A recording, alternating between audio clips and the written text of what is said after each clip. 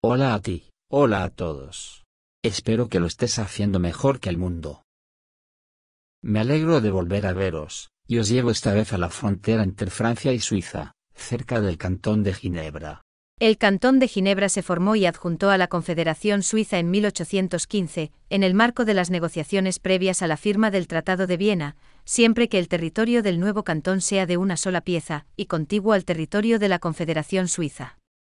Cosa que todavía no era el caso. Para que este acuerdo fuera efectivo, era necesario que el Reino de Cerdeña, que tenía garantizada la recuperación del Ducado de Saboya, y el Reino de Francia hicieran concesiones territoriales a favor del Cantón de Ginebra. Por lo tanto, era necesario determinar los territorios que se verían afectados por tal cambio de soberanía, lo que llevó algún tiempo. La frontera actual entre el Cantón de Ginebra y sus vecinos data de finales de 1816, con algunas modificaciones menores desde entonces. Con la caída del Imperio francés y el envío de Napoleón y al exilio en la isla de Elba, las demás potencias europeas se reunieron en Viena, en 1815, para rediseñar las fronteras de los distintos países. Suiza estaba preocupada por estas negociaciones en la medida en que Ginebra, la capital del antiguo departamento francés de Leman, y Valais, el antiguo departamento francés de Simplon, habían sido anexadas al imperio francés bajo Napoleón, y que estos territorios estaban destinados a ser devueltos a Suiza. Durante las largas negociaciones que conducirían a la firma del Tratado de Viena, también se acordó el principio de vincular Ginebra a la Confederación Suiza. Pero la Confederación solo aceptaría este apego siempre que el futuro cantón fuera homogéneo y contiguo a Suiza. Sin embargo, Ginebra estaba entonces aislada de Suiza, muy fragmentada y formada por enclaves en Saboya, en el cantón de Vaud y en el Pays de Gex. Es pues necesario obtener de los reinos de Francia y Cerdeña concesiones territoriales, única forma de responder favorablemente a las exigencias de la Confederación Suiza.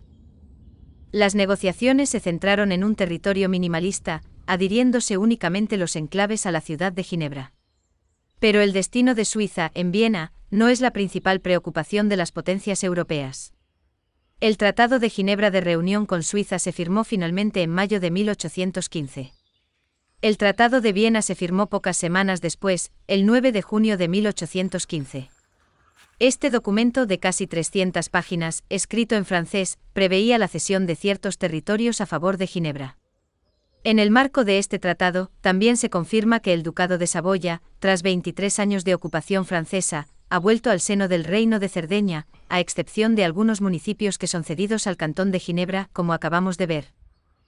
Entonces, en el papel, los acuerdos habían sido firmados pero todavía era necesario transcribir sobre el terreno las diversas disposiciones relativas a las nuevas fronteras, entre el Reino de Francia, el Reino de Cerdeña y el Cantón de Ginebra. Esto también requirió negociaciones para conducir al trazado de una nueva línea de demarcación entre estas tres naciones lo más precisa y justa posible, en apoyo de los levantamientos realizados en el terreno. Estas modificaciones territoriales fueron ratificadas durante la firma del Tratado de París, el 20 de noviembre de 1815, para Francia, respecto de los municipios de la margen derecha del Ródano, y el Tratado de Turín del 16 de marzo de 1816, para el Reino de Cerdeña, relativo a los municipios de la margen izquierda.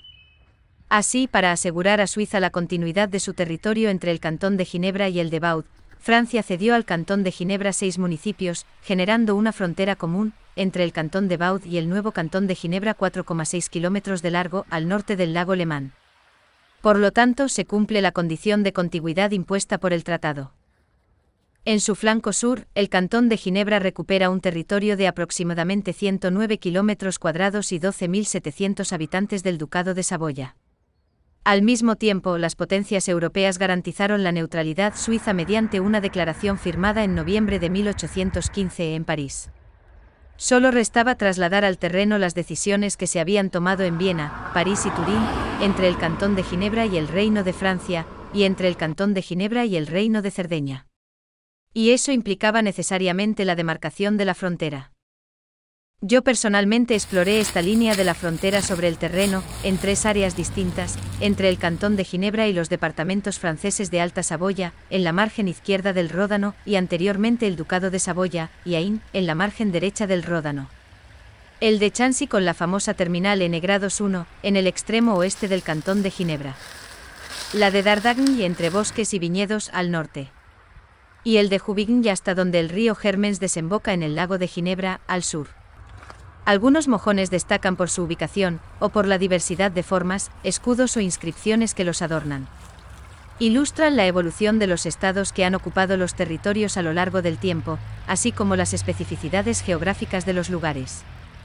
Son considerados como verdaderos monumentos históricos, testigos de la evolución de los estados soberanos en la región. Este es, por ejemplo, el caso de la terminal N grados 1. El pueblo de Chancy se encuentra en el extremo occidental del cantón de Ginebra. El hito fronterizo N grados una marca el extremo occidental de Suiza, entre árboles, prados y rocas. Este marcador data de 1816, un año después de que Ginebra se uniera a la Confederación Suiza. Sirvió como punto de referencia para establecer mapas topográficos de Suiza a mediados del siglo XIX, y es el punto de partida para las marcas que delimitan el país. Hoy, este hito histórico se encuentra en la frontera entre Francia y Suiza pero originalmente en 1816, separó el Ducado de Saboya del Cantón de Ginebra. El trazado de la frontera fue objeto de una revisión al nivel de este famoso terminal N grados 1, en 1898. Posteriormente se rectificó y se añadieron cinco terminales, indexados del 1.1 al 1.5, todos un poco más al oeste del mojón. Número 1. Como estos mojones son más recientes que los colocados en 1816, las primeras letras del país grabadas en estos mojones no son la G de Ginebra, y la S de Cerdeña, sino la S de Suiza, y la F para Francia. De hecho, no se equivoque en cuanto al significado de las letras grabadas en los terminales porque pueden inducir a error. Así, la letra S no es la abreviatura de Suiza o Saboya, sino la del Reino de Piamonte Cerdeña.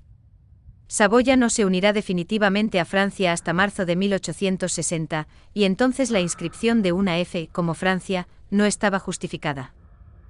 En una de las caras del terminal N grados 1 se ha tallado el escudo del cantón de Ginebra, un águila de media corona y una llave, y en la otra, el águila con las alas extendidas del reino de Piamonte Cerdeña. Se suele mencionar que el punto más occidental de Suiza se encuentra en la ubicación de la terminal N grados 1, lo que de hecho es un error.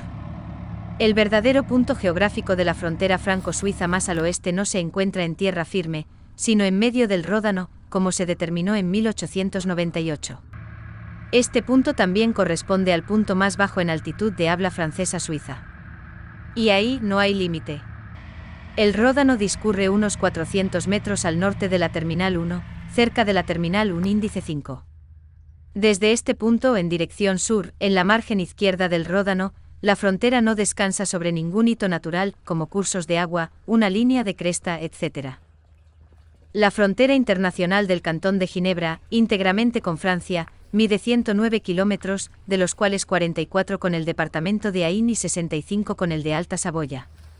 De estos 109 kilómetros, hay 54 materializados por vías navegables, incluido el Ródano. Esto deja 55 kilómetros de fronteras antinaturales, a través de campos, prados, bosques, viñedos, sin lógica aparente.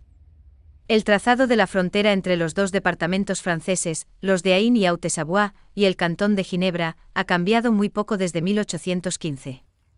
Sin embargo, se han registrado nueve modificaciones desde 1947. Cuatro rectificaciones fueron ratificadas por Francia y Suiza en 2004, y relacionadas con modificaciones menores, todas en áreas de menos de una hectárea.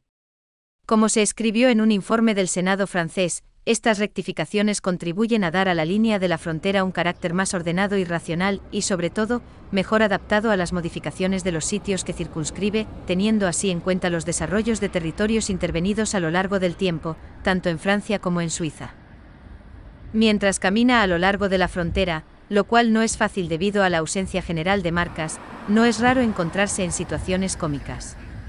Así, por ejemplo, la carretera departamental 15 entre los pueblos de Ville-Lagrand y Juvigny se encuentra íntegramente en Francia. Pero el arceno zanja al norte de la carretera forma la frontera con Suiza. A algunas propiedades con sede en Suiza solo se puede acceder a través de Francia. Esto plantea algunas preguntas para las que no tengo respuestas. ¿Qué cartero hace la entrega del correo? ¿El proveedor de electricidad es francés o suizo? Y muchas preguntas más. Otro ejemplo. Las laderas del lado de Dardigne están cubiertas de viñedos, con Gomá, Chasselas, Gamerit y Escheureb como las principales variedades de uva. Un acuerdo franco-suizo prevé un espacio de un metro de ancho sin vides en el lado suizo para hacer visible la frontera. Este no es siempre el caso en el campo, este es el caso, por ejemplo, entre los terminales 166 y 167. Pero obviamente en el día a día, esto no es un problema. Los viticultores, tanto vecinos como extranjeros, dan la impresión de vivir juntos con total serenidad. Y eso es lo que importa. Observo que en la zona del pueblo de Dardigne, la demarcación se realizó dos años más tarde que la realizada en la frontera con el Ducado de Saboya. Por lo tanto, los marcadores en esta sección de la frontera están fechados en 1818. En el lado suizo los marcadores llevan una G de Ginebra y una flor de lis en el lado que mira hacia el antiguo reino de Francia. La Fundación Reborne, registrada en Suiza, es muy activa en la restauración de los hitos fronterizos entre Suiza y Francia. Sus esfuerzos son visibles en el suelo, y los volardos destruidos o faltantes se refrescan o reemplazan. Los particulares que así lo deseen pueden patrocinar un terminal que requiera obra. Espero que lo hayas pasado muy bien, que hayas encontrado interesante el tema y que hayas aprendido algo. Si es así, considera suscribirte a mi canal. Y te digo, hasta la próxima. Con mucho gusto.